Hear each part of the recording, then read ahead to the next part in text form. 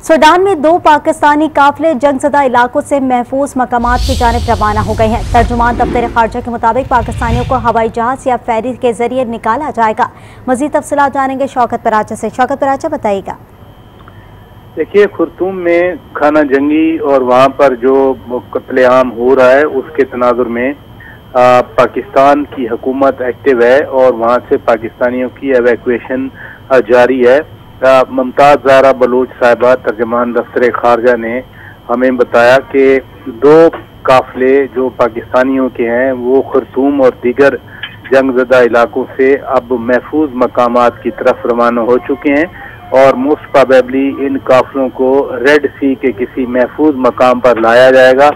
फिर उसके बाद फैसला होगा कि इन्हें फेरी के ज़रिए वहाँ से निकाला जाए रेड सी से या फिर जहाज़ के ज़रिए निकाला जाए।